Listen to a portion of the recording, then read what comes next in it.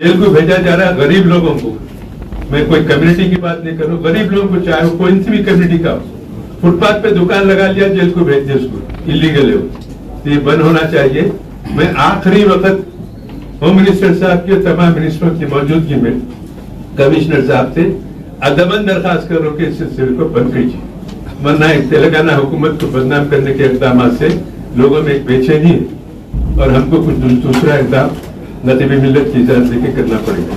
मुझे तो है कि रमज़ान के जितने मशवरे आपको दिए गए हैं, पूरे तेलंगाना के लिए उसको अमल तक ये फ़ूड होटल्स कैफेज ये जो भी खुले रखने का आपने कहा है, हर साल जो भी होता है, वही 24 घंटे का जो बहुत जज्बाती होकर एम एल ए साहब आशा खत्री साहब बोले हैं कि उनको जेल भेज रहे हैं ये ये सब अब ऐसा था कि थोड़े मौकों पर जब समय दिया गया था कि पहले 12 बजे था आपके दरख्वास्त के बाद एक बजे किया गया।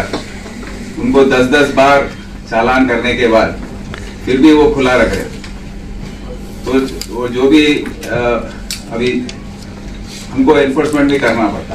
तो एक दो लोग गए होंगे बट आप जब से आके रिप्रेजेंट भी किए वो बात बहुत पुरानी बात है अब तो ये बीच कोई जेल गया ही थैंक यू कोई आके बोला क्या?